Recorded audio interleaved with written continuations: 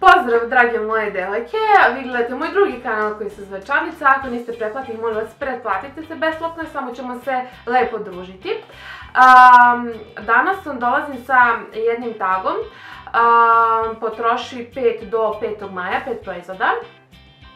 za ovaj tag me e, tagovala e, moja divna koleginica Emilija, ja ću vam ostaviti link za njen video dole ovaj, u opisu.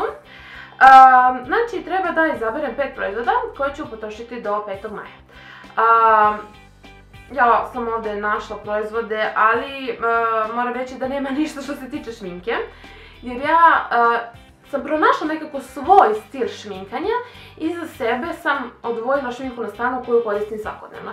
I te šminke ima jako malo, mislim, eto samo u suštini što se oči tiče, za sebe koristim samo neke tipa palete, imam par rumenila, par ruževa, tako da ovaj, tu nemam onako nekih proizvoda koje bih žela se otarasim, to su onako svi proizvodi koje ja apsolutno obožavam. Ali sam opet našla neke ove proizvode koje bi tu mogla da uvrstim, neki su koji mi se baš ne sviđaju, ali ne želim jednostavno da ih bacim, nego želim da ih iskoristim, a neki mi se jako sviđaju i želim ovaj, da budu tom taku jer želim da, ih koristim što više. prva stvar je ovaj parfem, ovo je Chanel 5, ovaj parfem je jako lijep, međutim je onako baš zimski za hladne dane. Ja ga imam već od prošle jeseni, znači koristila sam ga prošlu jesen, zimu, proleće i ovu jesen, zimu i sad nadam se, evo, ostalo ga je još malo, ja se nadam da ću ga potrošiti ovaj, do maja. Evo ja ću vam izumirati da vidite koliko mi je ostalo. Eto koliko je ostalo parfema. Tako da, mm, lijep je on, sviđa mi se, ali više mi se onako baš, baš smučio, jer ga jako dugo koristim već dve godine se ovaj, prskam s njim i nikako da ga potrošim jer je prejak. Štipa za nos bukvalno i ne smijete se prstiti više od dva do tri puta, zato ova mala bočica, a toliko dugo, beskrajno traje. druga stvar koju želim da potrošim ovaj, do maja je ovaj serum za oko očiju, on je od Višija njega sam kupila skoro, možda ga ima šta znam po nekoj mojoj slobodnoj procjeni, otprilike negdje ovako do ovdje. Nažalost, bočica je nepravidna tako da ne mogu da vidim koliko ga je tačno ostalo, tako da nećemo baš moći. Najbolje ovaj, da pratimo to koliko se on troši dok ono se ne isuši skoro da više ništa ne bude ovaj, moglo da izlazi. što znam, ono ok bio je oko 1000 dinara, tako da mislim da za ali mislim da ne radi apsolutno ništa, mislim malo hidrira taj deo koči, ali to je to, nisam primijetila nikakvu značajnu promjenu, tako da u suštini želim ovo da istošim, imamo plan da kupim neku dobru kvalitetnu kremu za oko tako da ok je, ali ono, želim da ga istošim što pre. sljedeća stvar koju ja jako, jako volim je ovaj Rimelov lak za nokte.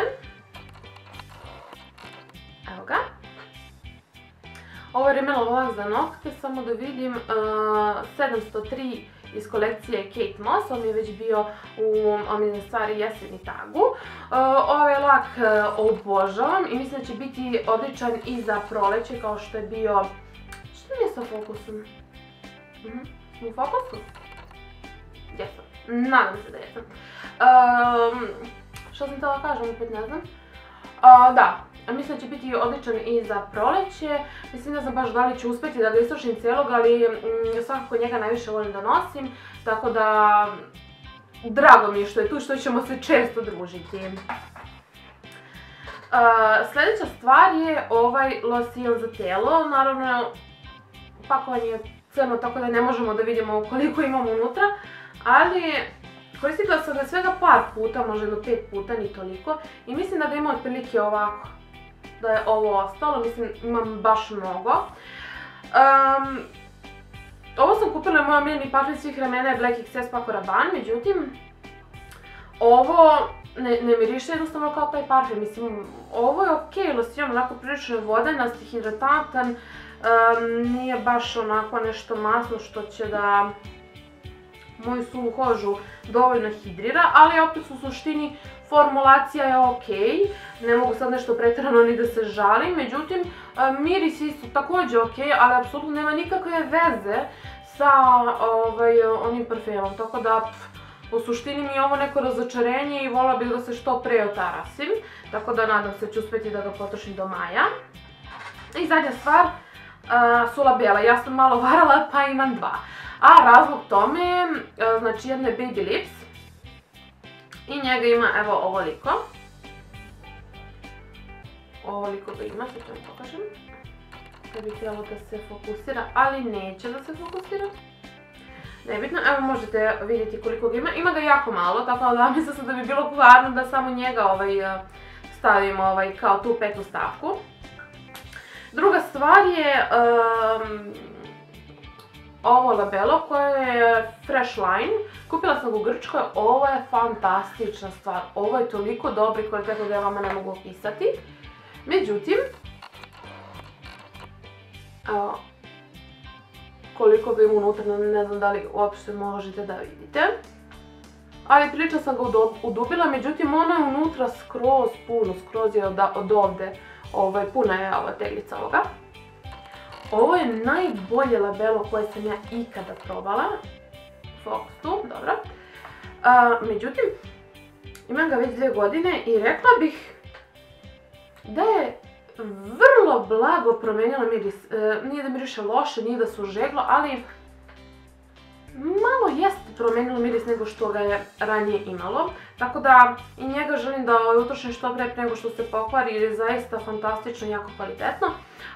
Baby Lips mi je ono ok, e, ništa sa specijalno, nisam nešto pretjerano oduševljena, labelo dobro.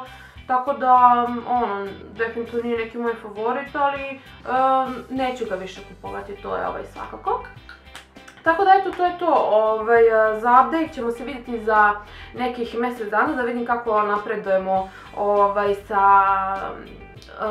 trošenjem proizvoda. Ako ništa do za prvih mjesec dana se nadam da ću barem parfum potrošiti onako, on je prvi ono na listi da ga što pre, da se njega što pre otarasim. Ovaj, parfum je ovo Labello Baby Lips, to je nešto sigurno što će brzo otići. A za ove ostale stvari koje su pune, ovaj, ja se nadam da ću ovaj, stići da ih potrošim do maja.